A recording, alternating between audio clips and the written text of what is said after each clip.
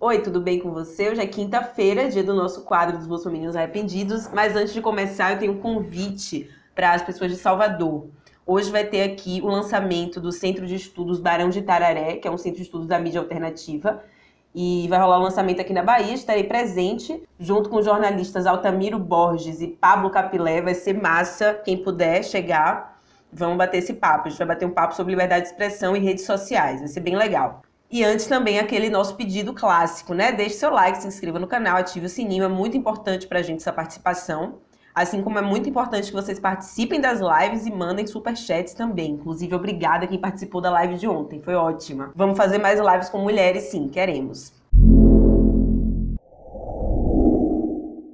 Agora vamos começar os vexames. Robinson, hashtag reaja ou a Previdência acaba. Eu e minha família votamos no Bolsonaro, mas estamos arrependidos. Peço desculpas a todos os trabalhadores por eu ter cometido o erro de ter ajudado a eleger quem é a favor do fim da Previdência e contra os direitos trabalhistas. Alguém desculpa aí, trabalhadores? Alguém perdoa Robinson? Eu não. Não, mentira, gente. Na, na real, eu nem consigo ficar com raiva de Bolsonaro que nem Robinson. Que é a, a pessoa que realmente votou por boa fé existe às vezes. Coitado, tanto que ele tá chocado agora. Então, assim, eu desculpo, mas não tem direitos trabalhistas. Isso não vai trazer nossos direitos de volta, Robinson. É isso. Júnior, eu votei no Bolsonaro, mas estou arrependido devido às bobagens que ele diz. Ah, não, Júnior. Para com isso. Ele sempre disse bobagem. Tem a única coisa que o Bolsonaro sempre fez na vida foi dizer bobagem. Não adianta você dizer que foi enganado porque ele só começou a falar bobagem depois que foi eleito. Não. Ele começou a falar bobagem no dia que ele aprendeu a falar, a se comunicar. Já foi. Aí essa é uma reclamação que eu não acho que é justa, entendeu? Aí você não prestava atenção, Júnior, ou você estava com seu ouvidinho seletivo, só ouvia quando ele falava que ia destruir o comunismo. Ficou empolgado. Douglas, esse governo é igual piolho, mais uma vez prejudicando os humildes. Votei no Bolsonaro, mas estou arrependido. Agora barro o FGTS, que é direito do povo. Eu não entendi essa metáfora muito bem, não. Como assim, igual piolho? Parasita? Vampiresco? Mas coitado dos piolhos também. Pobre de direita não deveria nem existir. É esse meu comentário sobre esse comentário. Wagner. Nunca estive tão arrependido com o meu voto a presidente da República. O governo de Jair Bolsonaro se mostra desorganizado, bagunçado, sem um norte. Filhotismo na política, filhotismo na embaixada, uso do helicóptero para a família, nada diferente dos outros governos. É diferente sim, é bem pior.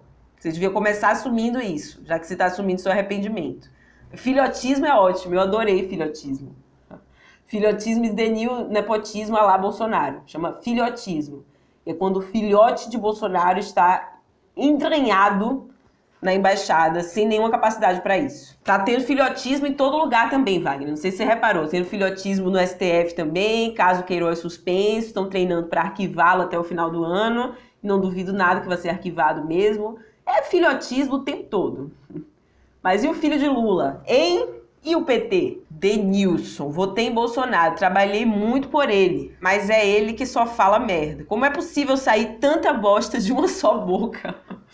Boa pergunta, meu amor. Inclusive, o aparelho escritor fica com inveja. Será excesso de burrice ou é de propósito? Não, não é de propósito. Ele não teria inteligência para ser tão asno de propósito. Com certeza é excesso de burrice mesmo, assim vai por mim. Desse jeito, ele está pavimentando o caminho de Dória e companhia. Realmente. Agora você falou uma coisa certa. Nosso futuro é triste. Até que a gente adquira alguma educaçãozinha política. Vai ser ladeira abaixo aí. Gente, continue mandando prints pro nosso quadro continuar existindo, tá? É, esses prints que eu usei hoje foram de Luan Júnior, LGBT maravilhoso. Ele mandou vários. Eu tô usando assim há dias já, semanas. Obrigada, Luan.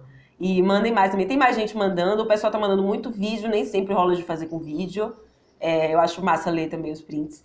Porém, é, vai, vai rolar com vídeo aí e continue mandando do jeito que vocês quiserem, tá? Vocês encontrarem notícias também, que a gente vai usando aqui com o passar do tempo. E se você mandar, você manda no e-mail se eu posso falar seu nome ou não. Porque às vezes a pessoa manda e eu quero agradecer, não sei falar o nome da pessoa sem estar autorizado a falar.